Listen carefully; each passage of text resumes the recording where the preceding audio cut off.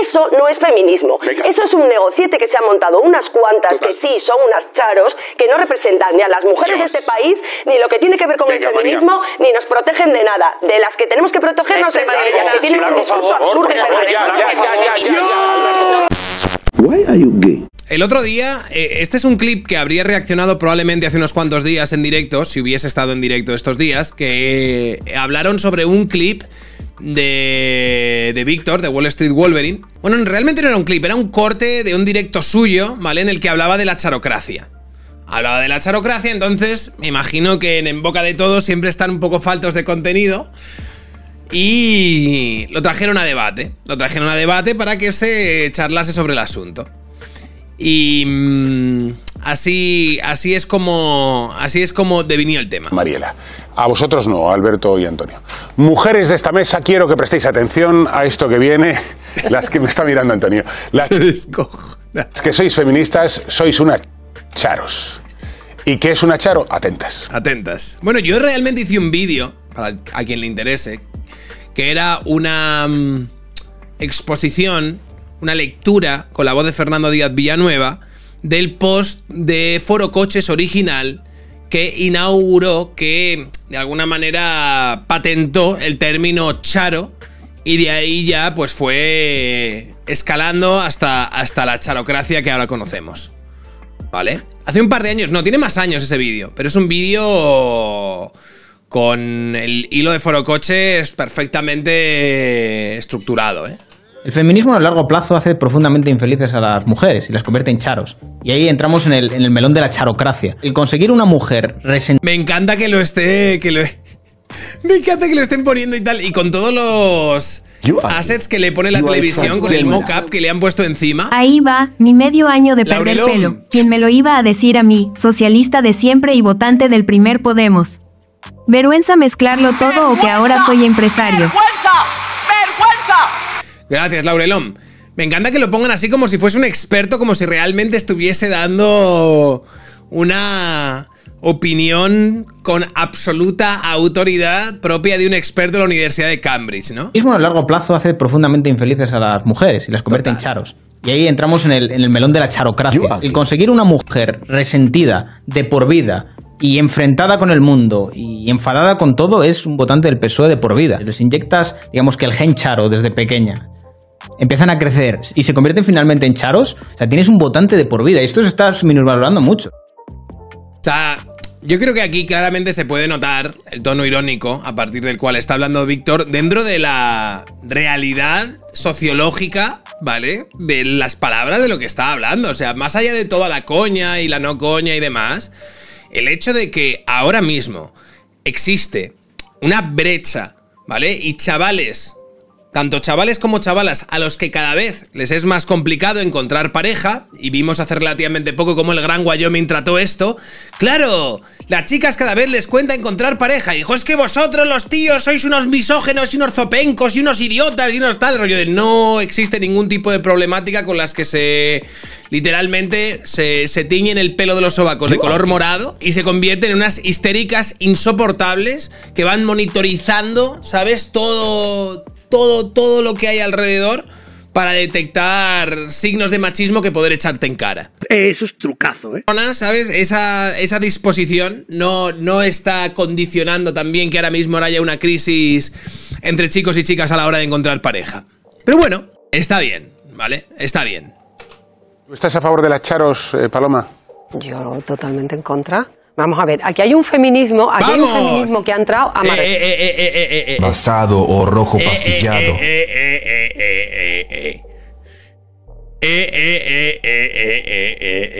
Están aquí con nosotros, chicos. Ya cada vez, vamos, no consiguen convencer ni a sus propios tertulianos para que defiendan esta mierda. Vamos ahí. Pegado, avinagrado, odiando a los hombres. Mira qué basada. Vamos a volver a ponerlo. Totalmente en contra. Vamos a ver, aquí hay un feminismo, aquí hay un feminismo que ha entrado amargado, avinagrado, odiando a los hombres. Y entonces eso ha provocado una reacción contraria. El feminismo no es Irene Montero, Belarra y toda esta tunda de gente amargada e infeliz. Hostia, es ¿Qué, ¿Qué se puede decir, sabes? ¿Qué se puede decir cuando alguien verbaliza de una manera mucho más articulada y fina todo lo que tú quieres? Somos Mariela, Sonia, ella y yo. Incluso Somos yo, ¿eh? gente felices, pero feministas. No estamos ni avinagradas ni odiamos a Nacho, a Alberto y a Antonio. ¿Pero este señor quién es? Pero ¿quién eres tú? Es la pregunta. Probablemente alguien que tenga bastante repercusión y bastante más impacto de lo que tú tendrás, amiga. Es que no sé quién es. Bueno, pero eso Es que, ¿tú quién eres? O sea, ¿tú quién no es eres? el debate, Sonia. No, no, vamos no, a, y vamos además a las sé, lo de las charos tampoco sé muy bien qué es, ¿no? Se hablan de las mujeres estas Tú eres una charo, Sonia. solas. Las y- avinagradas. No, vamos Sí. a, dejarlo claro porque seguramente la audiencia no sabe lo que es, ¿no? Son estas mujeres mayores, solteras, eh, con gatos, creo, incluso. No, no sé, no, no me parece. pero tenía- No, hay charitos, tú por ejemplo. No, no, no, a ver. Pero bueno, mujeres enfadadas. Yo Bueno, yo no sé si esta será tanto Charo, la Sonia Ferrer, esta, sino alguien que se aprovecha del fenómeno Charo, ¿vale? Para intentar capitalizarlo con gilipolleces como me voy a quitar el maquillaje en directo y voy a hacer una especie de performance. cojo toallitas en el programa y yo me, ¿Y me te vas a quitar el maquillaje? Sí, no tengo, Venga, no tengo. vamos. a ¿De ver? Yo lo voy a también. intentar Ay, lo mejor posible, ¿vale? Como lo de los filtros de las redes sociales, que tú lo usas una vez y dices, madre mía, qué barbaridad, pero e- es mejor que las siguientes Nada, cinco que- no lo uses para no acostumbrarte. estás aún más Claro, guapa. di que juegas tu Aún mensaje más que sigues guapa. igual de guapo. Para que todo el mundo vea que la losa que llevamos encima, yo creo que... Yo creo que la Ferrer es bastante charo, pero creo que es de las que se aprovecha del fenómeno. Es como la Rivers o esta movida. ¿Sabes qué rollo de sí? Vale, eres una putísima charo, clarísimamente. Pero no creo que seas una charo en espíritu. Es decir, tú te aprovechas del fenómeno charo, te aprovechas del feminismo que hay ahora mismo para subirte al carro este porque es lo que se supone que tienes que decir. Es una postucharo, tío. Es una charo de postureo. yo he de decir Te ha tocado, sí, sí, es como me ha tocado ser charo. No tanto ser charo, sino actuar como una charo. ¿Sabes? Le ha tocado actuar como una charo. Es intrusismo charocrático, totalmente. que sí, claro que el feminismo enfada. O sea, no todo el mundo, no, no todo el mundo eh, eh, conoce el feminismo. El feminismo hay que acercarse Hay y que acercarse, ¿no? Como si fuese un tigre, ¿sabes? Hay que, hay que darle de comer con cuidado, ¿sabes? Hay que seguir unas reglas, no alimentarle después de las 12 de la noche, no mojarlo con agua, ¿sabes? Pare- Parece que el feminismo es un gremlin, ¿sabes? Aquí. Olvidaba deciros las tres reglas, y son muy importantes. La primera odia la luz brillante, ya lo habéis visto. No debe darle jamás la luz del sol. La luz del sol le mataría.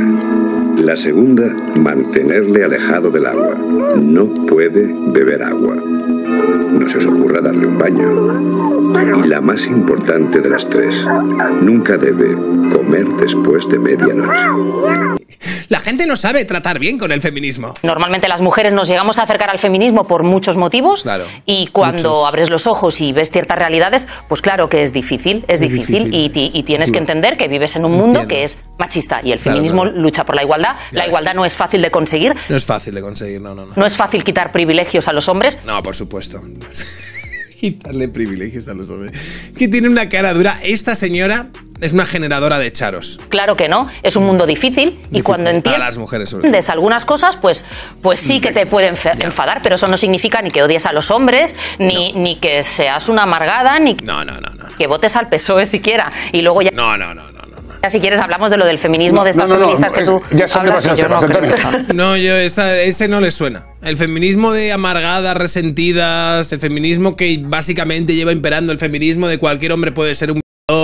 Ese feminismo no. El feminismo que ha hecho literalmente que en los últimos cinco años, vale, la categoría o la etiqueta de feminismo haya literalmente bajado reputacionalmente de manera exponencial. El hecho de que en 2018 hubiese millones y millones de personas en las calles y ahora estén literalmente 4.000 personas, ¿sabes? Porque estamos hasta los cojones. ¿Sabes? De lo que se ha hecho en los últimos años en nombre del feminismo. El hecho de que la máxima representante del feminismo en España, que era la señora Irene Montero, haya sacado menos votos que se acabó la fiesta para las elecciones europeas. Eso, eso a Sonia Ferrer no le dice nada. ¿Vale? Bueno, según este, Charo es Sonia Ferrer, para que la gente lo entienda. Por lo que acaba de decir. Luego se puede estar de acuerdo o no, pero eso es lo que para él es una Charo. A ver, Antonio Naranjo, no te pongas ahora de, so- de eso. Personas, y ya te saco yo de ahí, digo para que la gente lo entienda, personas que piensan que la mujer es por necesidad, por este heteropatriarcado que nos rodea, o víctima de algo, o que poco menos que es débil, o que está enferma o que tiene alguna tara. No, no.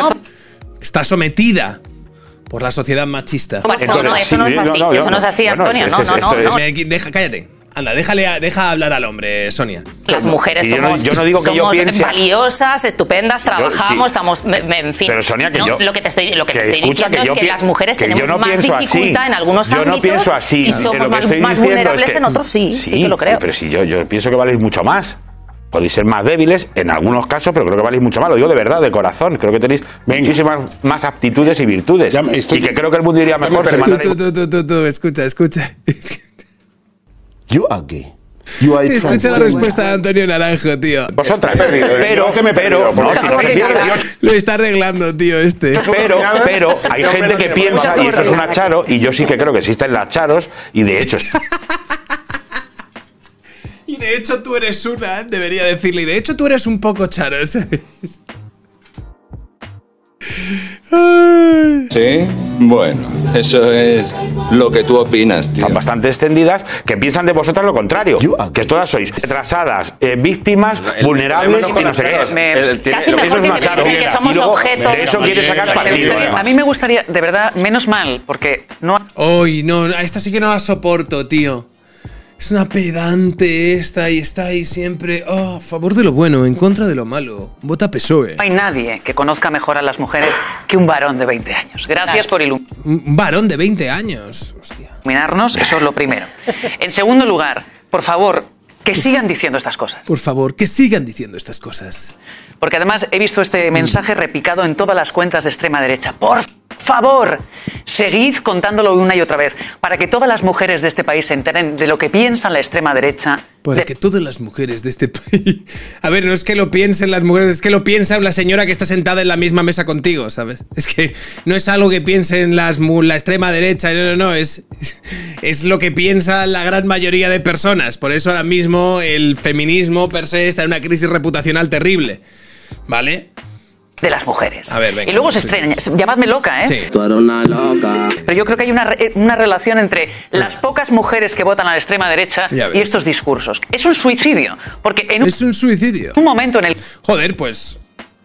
Yo no sé si lo vemos de- por el otro lado. Si hacemos esa misma lectura en el otro lado, la principal representante del feminismo en, en España, la, la antigua ministra de Igualdad, la que ha traído estas grandes leyes feministas y estos grandes avances sociales para las mujeres, ¿qué impacto electoral ha tenido? ¿Cuánta gente le ha votado? Ya, probablemente le hayan votado más mujeres que hombres, pero ¿cuántas personas han sido? ¿Quiénes fueron los pocos afortunados que votaron a, a esta señora, tío? el que Vox ha dejado ya la bandera del- de, de luchar contra el feminismo porque no son estúpidos y saben que así no se puede ganar unas elecciones, aquí sus satélites están reventándoles la estrategia. Entonces, Les estamos reventando la estrategia. yo como no deseo que gobierne mi país la extrema derecha, Ya ves. me parece fenomenal que enseñen sus colores de verdad, que vean lo que piensan y lo misóginos que son, Es increíble lo misóginos que son, es una barbaridad. para que sigan las mujeres. No se puede. ¡Vergüenza! No se ¡Vergüenza! puede. ¡No se puede!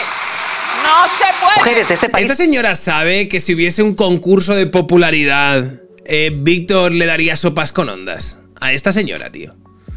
O sea, yo, a mí lo que me extraña realmente es que estas, estas personas, ¿vale? Estos entes que están en la tele diciendo las gilipolleces que dicen, tengan la, la sensación de que su discurso y lo que ellos defienden es algo que de alguna manera esté contribuyendo a reforzar un discurso social totalmente virtuoso y a favor de la igualdad y entre hombres y mujeres y demás, que es el feminismo. O sea, esta señora no se da cuenta que cada vez que habla de esa manera tan antipática, de esa manera tan resabida, con, con eh, esa suerte de superioridad, mirando al resto con arrogancia por encima del hombro, llamando absolutamente todo extrema derecha, no se da cuenta que lo que está haciendo es generar lo que ella misma dice combatir. Es decir, ¿no te das cuenta que eres un exponente de todo lo que la gente no quiere ser y de lo que la gente huye y que solo la gente que realmente tiene algún tipo de complejo, algún tipo de inseguridad, está enquistado en sus resentimientos y en sus mierdas, son los que escuchan a este tipo de personas y dicen, total, reina, repítelo. Díselo, reina. sin votarles. María. Porque no me parece una buena estrategia Montero no No llamar a las mujeres No, no, no, tú, la- tu estrategia es increíble. charos Sí. y asociarse con los No. señores que las pegan. What? What? Hostia, ¿eh? ¿Cómo hemos saltado de... y te dan de hostias? María. ¿Pero de qué habla, tío? ¿Cómo? ¿What? Quedé virolo, no entendí. ¿Cómo ha escalado esto, no? Ah, y te dan de hostias luego. ¿Y rollo de qué? ¿Qué ha pasado a ti? Guiña un ojo si, si en este momento estás ahí en contra de tu voluntad, señora Charo, de 45 años. Mira, yo eh, creo que hay charos, sí, a ver las ailas. Creo que no representan el feminismo también.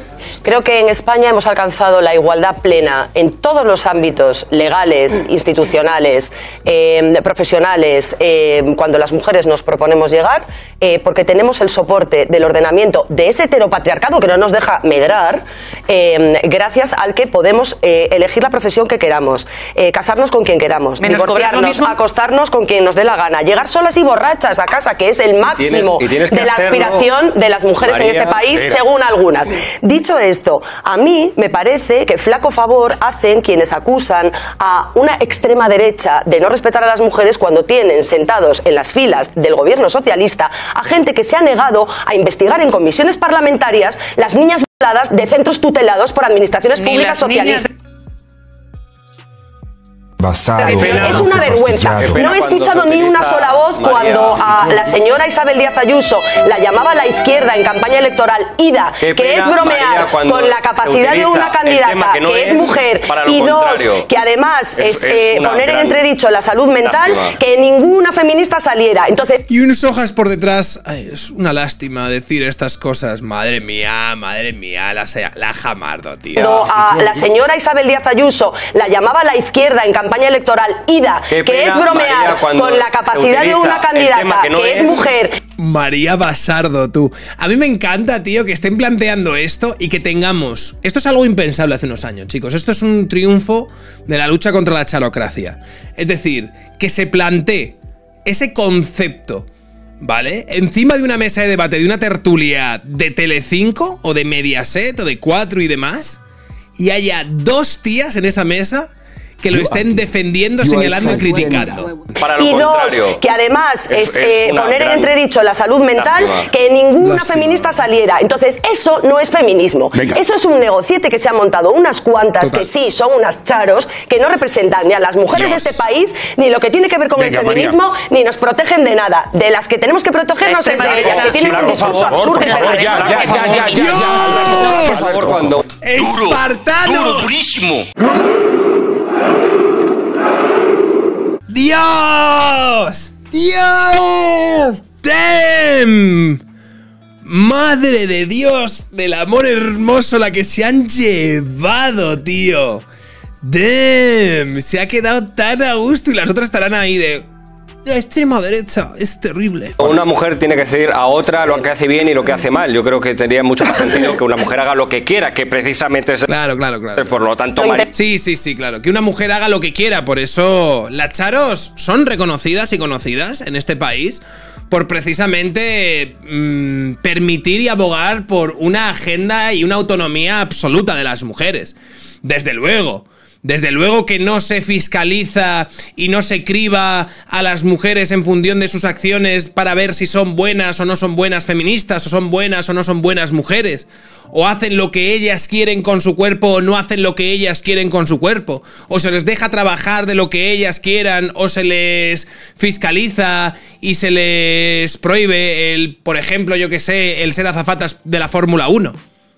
Por supuesto, a Rorro, a la chica esta, le trataban genial. Apenas, apenas recibió Rorro amenazas de muerte por partes de señoritas super libertadoras, super feministas y super empoderadoras.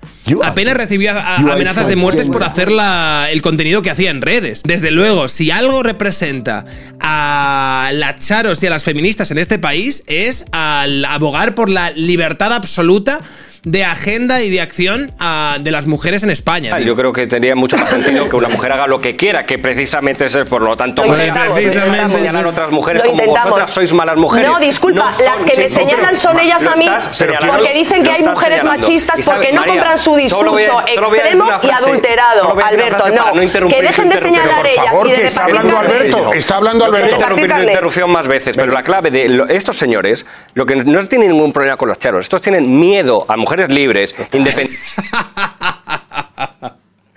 A este le dan tobas con la polla, tío. Cuando va a Génova.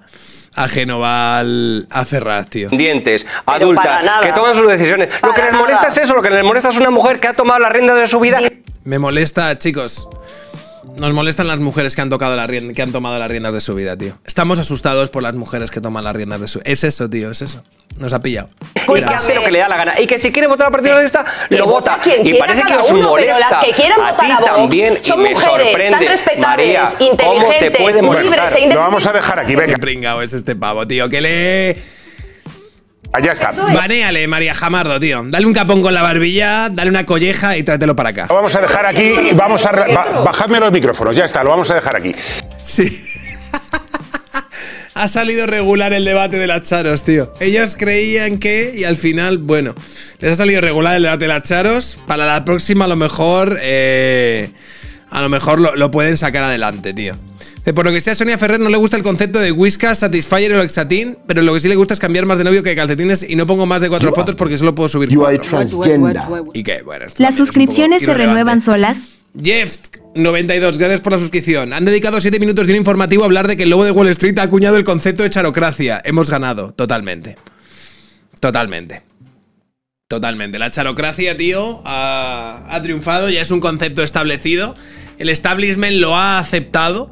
Y de todos aquellos que se han puesto a debatir y a discutir sobre ello en una tertulia en Telecinco, más de la mitad lo ha defendido con entereza. O sea, es el triunfo. El triunfo absoluto. ¡Vergüenza! ¡Vergüenza! ¡Vergüenza! ¡No se puede! ¡No se puede! La charocracia avanza. Why are you gay?